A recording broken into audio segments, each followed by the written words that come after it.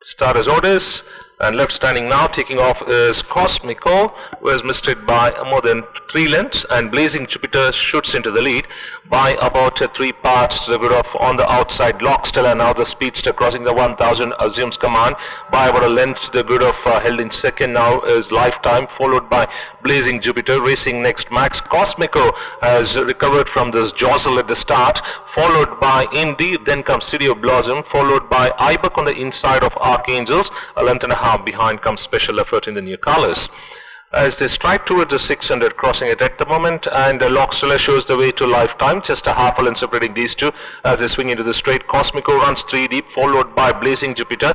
They followed then by Max towards the fence City of Blossom on the outside is Indy mustering well.